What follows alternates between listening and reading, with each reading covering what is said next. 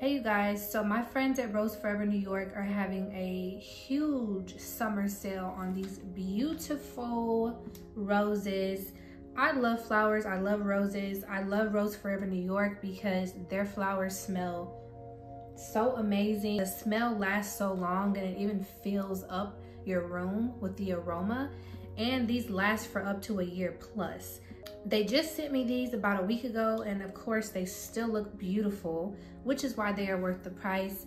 And if you guys have been following me for a while, then you remember when they sent me these beautiful roses. These vibrant blue roses, these royal blue roses are probably still my favorites. Like I said, they sent me these months ago and they still look perfect and they still smell amazing.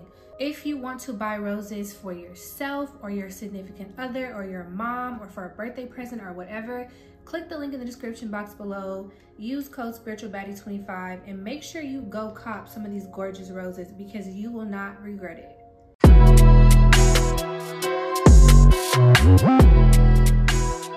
People from your past want to bring you down a peg. The gag is it's impossible for them to bring you down because that means they would have to come to your level. They can't meet you up here because you are already light years ahead of them.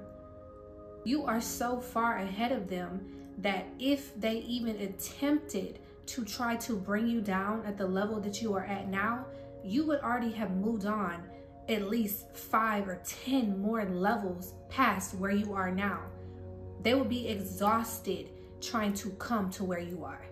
They can't bring you down where they are. They're too far. That's too far down there. You have already rose so far above that. They would have to climb Mount Everest. You were at the very top of Mount Everest. And they're at the very bottom.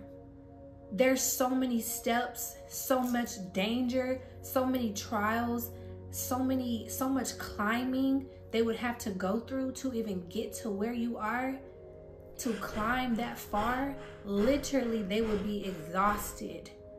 No one can bring you down unless you, chosen one, decide you're going to come down to their level. How are they supposed to reach you?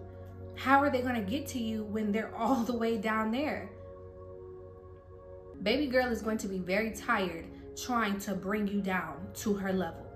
Very, very tired by the time she gets up there, you gonna be, what took you so long? what took you so long? I thought I thought you were coming to meet meet me at the top. Well, I, I guess you got lost on the way up. What what happened? I've already moved on to the next level. I've already advanced. I've already went through that trial. I already went through that tribulation. I already experienced that problem. I already went through that habit. I've already healed from that. What happened? I've, I've been waiting. You, you said you were going to bring me down. You said you said that um I wasn't who I said I was, but but I've I've been up here waiting on you for a minute now. And you just now getting here? Man, well I've already upgraded. So now you gotta come meet me at another level. And that's how you do it with anyone and anything in your life. Anytime someone tries to come up against you and bring you down to their level, make them work harder. So each and every time they think they have caught up with you, they really haven't because you have already advanced again. You have already moved forward again. You have already reached the next level again. And at some point, these people are going to stop trying to get you and stop trying to keep up with you because it's something that they cannot do.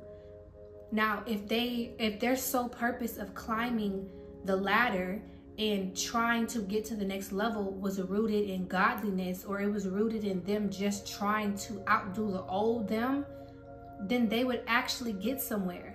But because everything that they are doing is rooted in trying to stop you and make you look bad and try to ruin your reputation, they're never going to get up there. Never. Some of them even know that they will never get to where you are, but they don't care. They just don't want to see you there. Why would you come off your throne to go back to a place that you already graduated from, you already healed from, you already leveled up from? You are someone who is constantly leveling up in your life. And the reason that you are able to level up the way you do is because you constantly focus on you. You focus on yourself. Your goal is not to try to beat the opposition. Your goal is not try to outdo anyone, but the old version of you, which is why you move so fast. People cannot keep up with you. You move so fast, chosen one. Like you are glowing, you're healing, you're vibrant, you're successful, and you're moving so quickly. And people are like, oh my gosh, we have to stop him. We have to stop her. Like, what is she doing? What is he doing? Who does he think she, he is? Who does she think she is? We have to stop her. You cannot stop someone who was chosen by God. You cannot try to stop someone's destiny. It's not possible the only way they can even reach you or touch you or even get a glimmer of your essence is if they go through the steps it takes to get to where you are. They think in their little peon head that they are capable of touching you down there. No, you're not. I'm on top of Mount Everest. You are at the bottom. You are at the bottom. And the reason that they are at the bottom is not because you're looking down on them. They're at the bottom because they are acting low vibrational. When you act low vibrational, you are stuck at the bottom with the rest of the low vibrational people, with the rest of the haters, with the rest of the people who don't want to do the work. We get to stand on on top of Mount Everest is because we climbed to get to the top of Mount Everest. We put in the work it takes to get on top of Mount Everest. That was not easy. That was a lot of pain. That was a lot of danger. That was a lot of healing and growth we had to do. So we deserve to be in our position. You, on the other hand, do not deserve to be in this position because you haven't put in the work. And you also are so focused on trying to bring the chosen one down instead of just giving credit where it's due. Why not just give the chosen one their credit? Why not just send them love? Why not just applaud them? They are allowing their pride and their ego to consume them to the point where they're not even capable of apologizing or admitting they were wrong or at least joining you. That's what they say. If you can't beat them, join them. They don't even want to join you because their ego will not allow them.